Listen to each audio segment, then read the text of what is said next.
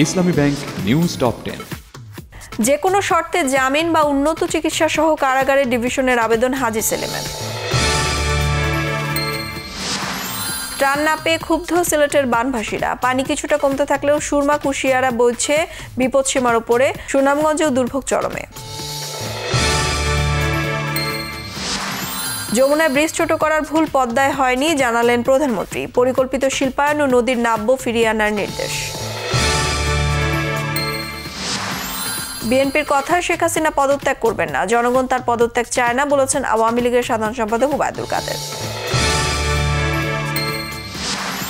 গণমাধ্যম নিয়ন্ত্রণে সরকার চারটি আইন করেছে। অভিযোগ বিএনপি মহাসচিব মির্জা ফখরুল ইসলাম আলমগীরের।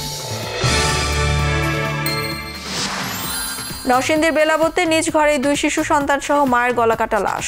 জমি নিয়ে বিরোধের জের ধারণা পুলিশের।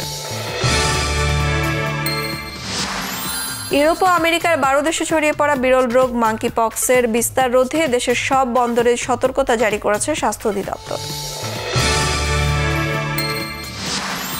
ভারতের সরকারি ঘোষণায় মূল্য ছাড় দিয়ে ডিজেল ও পেট্রোল বিক্রি শুরু। মূল্যস্ফীতির কারণে জনভোগান্তি কমাতেই পদক্ষেপ। মার্কিন প্রেসিডেন্ট জো বাইডেন, পররাষ্ট্রমন্ত্রী ব্লিনকেন সহ দেশটির নয় শতাধিক নাগরিকের উপর ভ্রমণ নিষেধাজ্ঞা দিয়েছে রাশিয়া। ফরাসি লিগে চ্যাম্পিয়ন পিএসজির শেষ ম্যাচে এমবাপের হ্যাট্রিক প্যারিসে থাকার ঘোষণা দিলেন ফরাসি তারকা।